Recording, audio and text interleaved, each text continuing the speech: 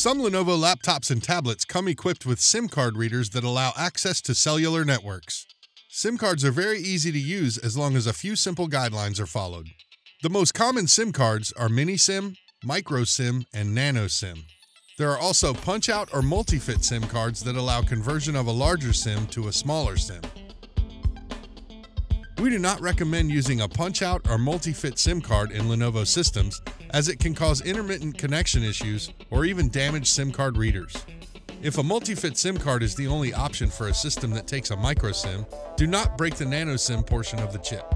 Never try to place a punched out SIM card back into the larger card it was removed from, and do not use SIM card adapters as they may also damage the mechanism. There are two different types of SIM card mechanisms in Lenovo laptops and tablets. SIM card trays, and SIM card push-pull slots.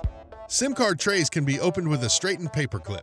Insert the paperclip into the hole and push inward until the tray is released.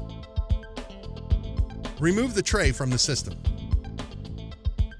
Some paperclips will barely fit into the hole and may not be able to engage the button to open the tray. Try using a smaller paperclip if this occurs. Place the micro SIM card into the tray with the metallic contacts facing up. Align the tray with the slot and carefully slide it in. If the SIM card starts to wedge between the slot and the tray, do not continue pushing it in. Remove the tray and realign the card before placing the tray back into the slot. To remove a micro SIM card from a push-pull slot, remove the cover by placing an index finger into the notch on the cover and pressing down. Using your thumb or index finger, press inward on the card until it clicks. The card will now come out from the slot far enough to remove it. To replace the card, Insert it into the slot and press inward until it clicks into place. Then place the cover over the slot and press it in until it's even with the bezel. Never use a pry tool or tweezers to remove a SIM card from a push-pull slot.